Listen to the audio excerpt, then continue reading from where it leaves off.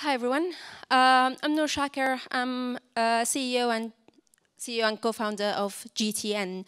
Uh, we are building the world's first quantum machine learning platform for small molecule drug discovery.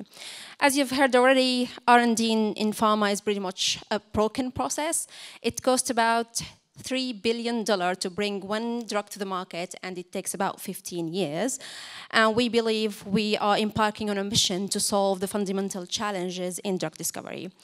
What we, the, the, main challenge that we, we are kind of working on is representation and search. We're combining ideas from quantum physics and machine learning. We, we heard about GANs, we're specifically using GAN models, generative adversarial networks, special custom type of them to discover, to teach machine to discover and come up with novel ideas in terms of designing new drugs.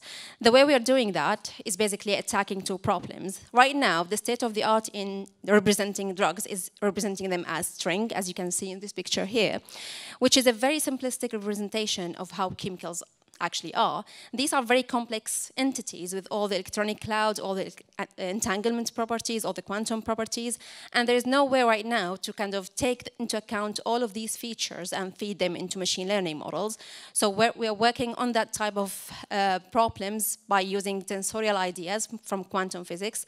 We combine that with state-of-the-art machine learning models that are compatible with these fine-grained representation that can learn about quantum features and that can predict chemical activities more accurately and are able to sample novel instances. We are working, we're pretty much the only company at the moment working on the intersection between quantum physics, machine learning, and drug discovery.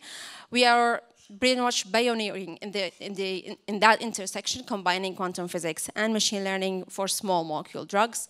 Uh, we started the, the, journey in May last year. We started GTN by myself. I have a background in machine learning and AI for the past 15 years.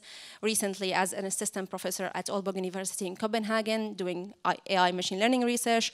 My co-founder is a UCL postdoc doing theoretical physics for the past 12 years.